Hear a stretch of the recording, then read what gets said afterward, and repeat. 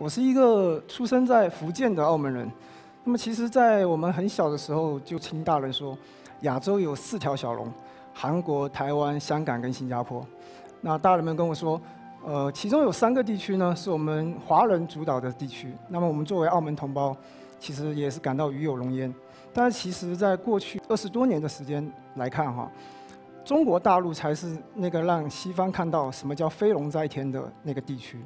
我们过去二十多年的成就，是我们的 GDP 的总量翻了十二倍，我们的人均 GDP 甚至翻了十三倍，我们成为了这个世界上第二大的经济体。